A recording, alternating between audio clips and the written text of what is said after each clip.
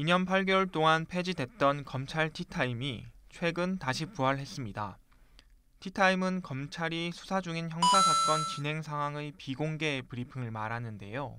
쉽게 말해 수사 책임자가 진행 중인 수사나 현안을 언론에 직접 설명하는 브리핑입니다.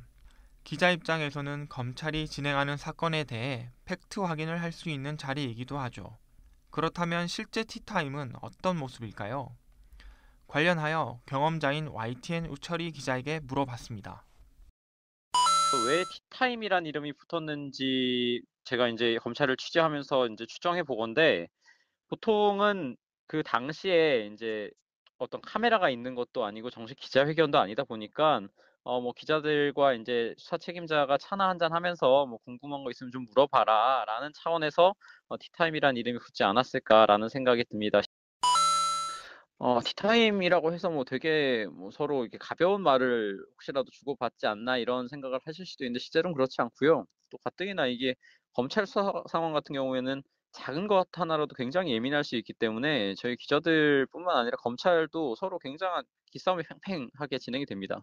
그리고 또 기자단도 이제 한 글자도 사실 빠지지 않기 위해서 굉장히 집중을 하고 또 질문도 저희가 그냥 한 사람의 개인으로서 질문하는 게 아니라 국민을 대표해서 국민을 대변해서 질문을 하는 거기 때문에 분위기 자체는 굉장히 엄숙하고요. 기자단 이제 간사를 통해서 이제 티타임 시간과 장소가 보통 공지가 됩니다. 이제 일방적으로 검찰에서 정하는 것은 아니고요. 그 기자단의 대표라고 할 수 있는 간사단 그리고 이제 검찰 공보 쪽과 이제 서로 협의를 거쳐서 언제쯤 이제 티타임을 통해서 이제 수사 상황 질의응답을 좀 하자 이렇게 형식을 맞추는 편입니다. 뭐 티타임이라고 하니까 혹시 점심 먹고 진짜 차 한잔 할 겸해서 티타임 아니냐 이렇게 생각하실 수도 있는데 실제로 그렇지는 않습니다. 근데 근데 또 공교롭게 시간이 사실 대체로 오후긴 합니다. 어제 있었던 서울중앙지검 티타임 같은 경우에도 실제로 오후 2시에 열렸습니다.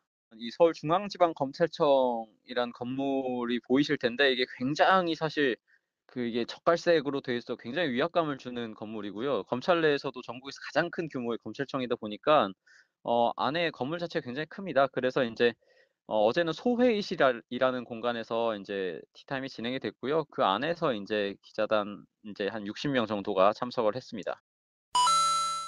혹시라도 이제 시청자 여러분들께서는 혹시 검언 유착의 통로 아니냐, 검찰과 기자들이 소위 짬짬이 해 가지고 뭔가 어떤 비밀스러운 얘기를 하고 좀 봐주기 하고 이런 거 아니냐라고 생각하실 수도 있는데 실제로는 그렇지 않다는 부분을 좀 분명히 말씀드리고 싶고요.